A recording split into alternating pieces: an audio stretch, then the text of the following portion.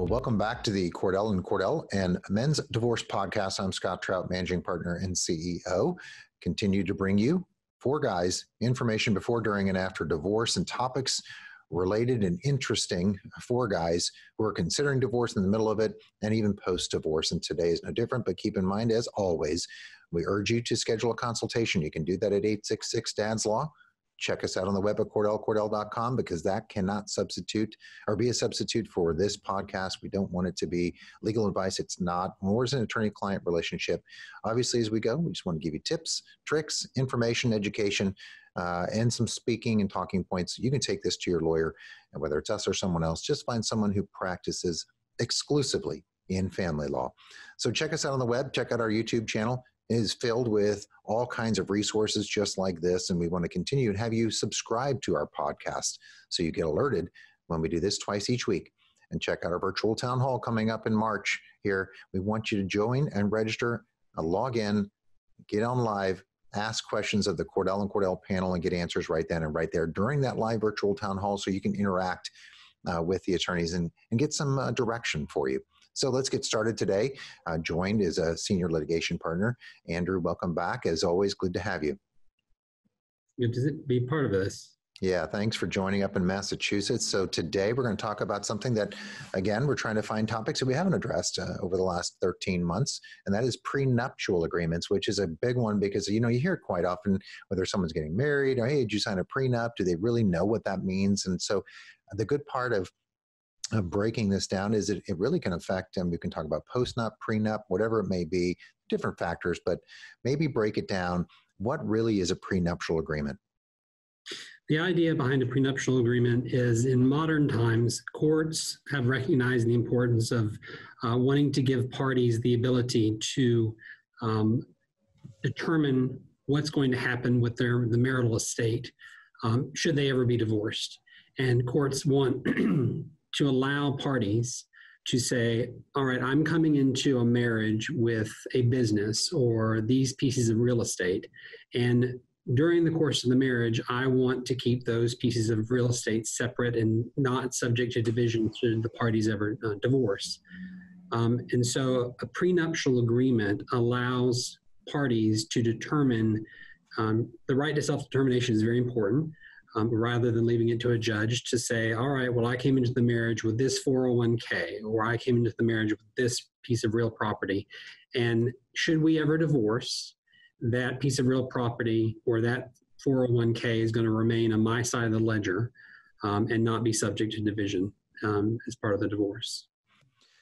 So you think about it, I mean, such an interesting topic because, you know, whether it's young or, you know, some young couples roll into and they have money from family money, like you suggest, and, and you want to protect things. So what can it do for guys listening? What can a prenup do for them realistically uh, today and, and moving forward as they, they kind of get into marriage and, and moving forward?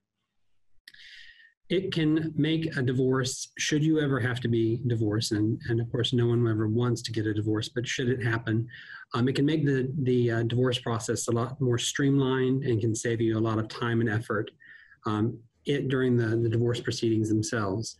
Um, a lot of times let's say i have a business and i come in a family business and um, i come into the marriage and you know my father built the business and i continue to work for the business as long as the business is maintained and uh, separately during the course of the mm-hmm. marriage, and only my paycheck from that business is deposited into a joint account, my interest in that business would be um, maintained as separate. So at the time of the divorce, um, my wife would not be subject to receiving a portion of the, that business. Mm-hmm.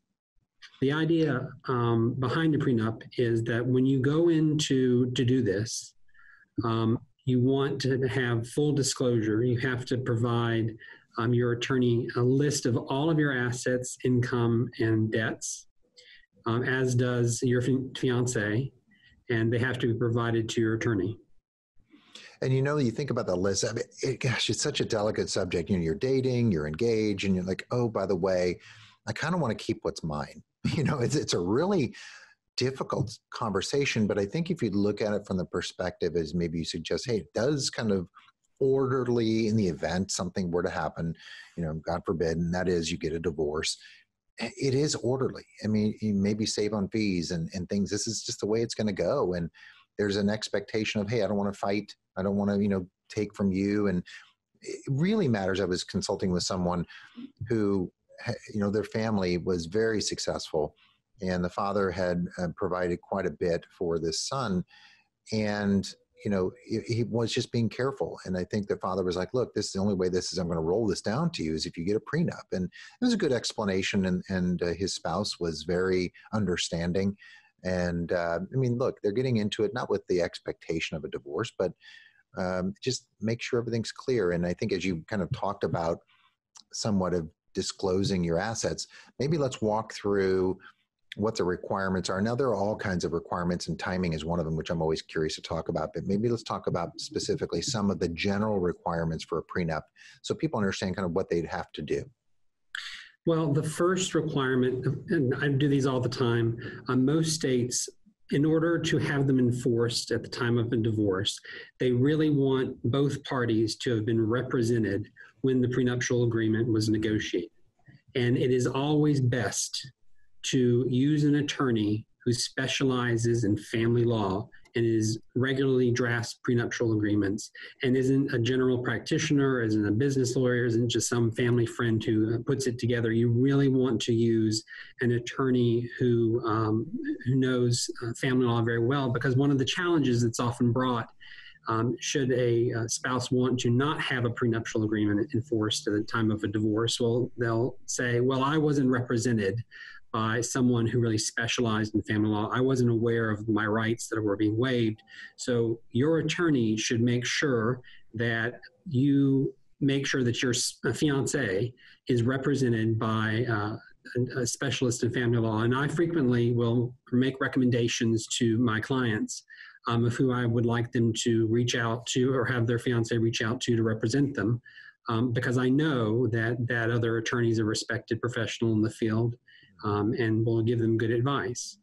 The second element of it is you want to, uh, you have to make a complete and accurate disclosure of all of your income, assets, and liabilities. And generally, what happens is that list of all those items is attached as a, a schedule to the prenuptial agreement, mm-hmm. one for you and one for your um, fiance.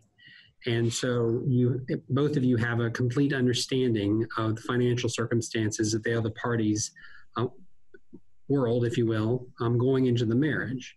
And the function is that everything listed on your schedule, and let's just say it's Schedule A, that is going to be considered non-marital. So when you're when and if you're divorced, that stays over in your side of the column and is not considered part um, subject to division and everything if your fiance's li- uh, items are listed on schedule b those items are going to be off this uh, off the uh, table and put off mm-hmm. the side for her um, and you're protected so you always know that uh, whatever you bring into the marriage is non-marital you want to be careful um, and this is something you should really discuss with your attorney um, what you need to do to make sure that something that you come into the marriage with um, such a, simple one is a 401k. Let's say you've been working for your employer for 10 years and you have a 401k. Um, you want to make sure that you maintain that 401k separate. So you may want to stop contributing to that 401k and open up a separate retirement account. So there's never any marital asset that goes into the 401k account that you came in with um, to say that it was mixed. So again, that's a subject beyond um, this podcast, but you should really discuss that with your attorney. Yeah, you know, I think about this list. I mean, I've had it. I'm sure you have. You know, you you suggest everything has to be listed. There's this tendency to think, well, I don't, you know, I'm going to hold this back. I mean, anything you do in that regard jeopardizes the viability, the long term, you know, legality and enforcement of this prenup, right? Absolutely, absolutely. You know, the, and that's where I think you see some litigation. You know, you go through all this effort, this the attorney's fees, um, and you aren't fully, you know, I guess transparent. And why not be at this point? Uh, might as well get it all out there, get it all on paper. Don't you know? Hold, don't hold anything back. Um, that's so key.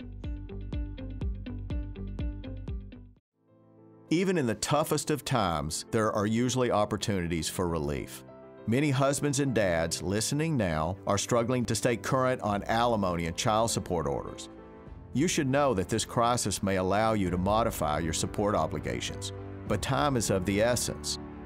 If you're a guy needing help right now, not someday when things are back to normal, call us at Cordell and Cordell. This is what we do.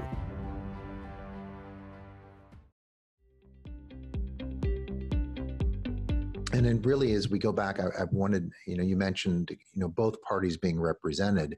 That i've you know it, it's it just it's a must.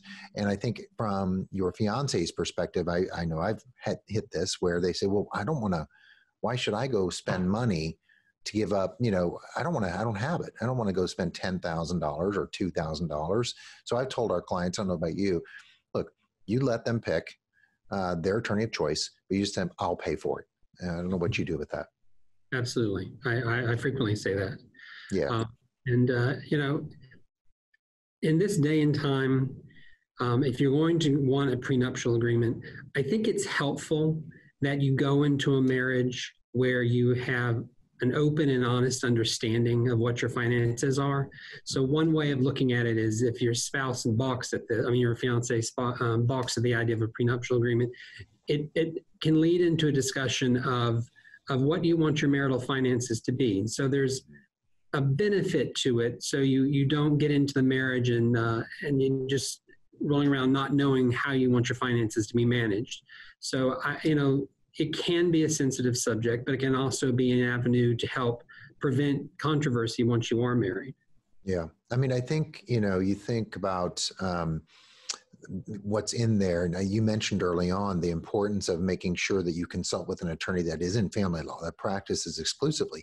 And I think what you have to look at it as is what you're doing, albeit it can be extremely creative, which is very advantageous. Um, it's no different than us preparing a settlement agreement in a divorce, right? We're dividing assets. We're uh, allocating spousal support and providing for the calculation of it and the formulation of it. Um, and there's also tax ramifications potentially, meaning that um, if you're going to be assigning yourself a taxable piece of property, but yet in the prenup you're going to give her a tax free, we may have a disproportionate valuation issue moving down the road. You know, if you take a 401k but you give her cash, there's a tax consequence allocated to the 401k when you withdraw it. So it's really not the value is not equal. So I think it emphasizes, as you suggest, the importance of consulting with someone who one who's family law and two who's done this and maybe has some of the creative ideas because i can tell you that all the prenups i've done none of them are the same.